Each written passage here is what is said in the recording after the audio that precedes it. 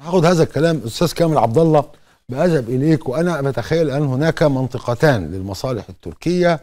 المنطقة الأولى بالرعاية والأقرب جغرافيا واستراتيجيا هي منطقة الشرق المتوسط هي التي تحوي ثروات كبرى يمكن لتركيا أن يعني تتقاسمها أو تستولي عليها إذا استطاعت بدون عناء.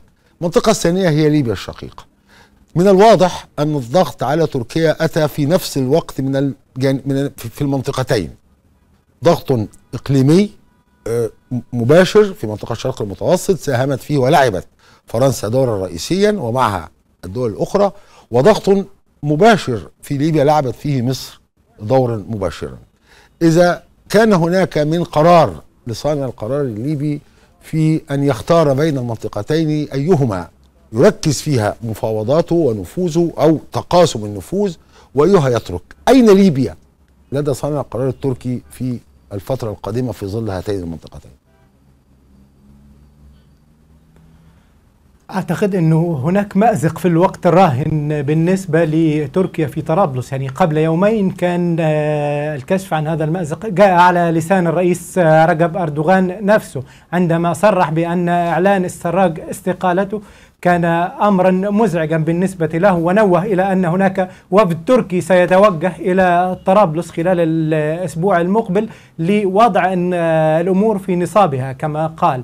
فعلى ما يبدو أنه أردوغان بدأ يدرك أن يعني انهيار التحالف أو اهتزاز التحالف الداعم حكومة الوفاق وأي تغيير قد يطرأ على المشهد يؤثر على شرعية هذه أو وجود هذه الحكومة ربما يقوض الاتفاق الذي يسعى إليه والذي هو بالمناسبة أيضا يحتاج إلى مصر لتمريره لأنه اتفاق ترسيم الحدود مع حكومة الوفاق الوطني لن يمضي أبدا بدون موافقة مصر خاصة أن هذا الاتفاق يتماس, يتماس بشكل مباشر مع الحدود البحرية المصرية و الحدود البحرية الليبية في شرق البلاد.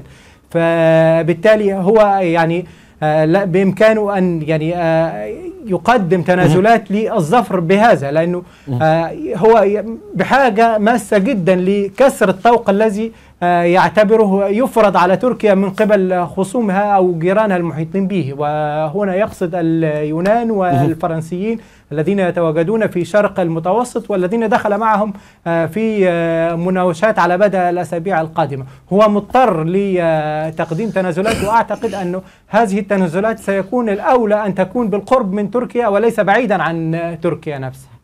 عظيم.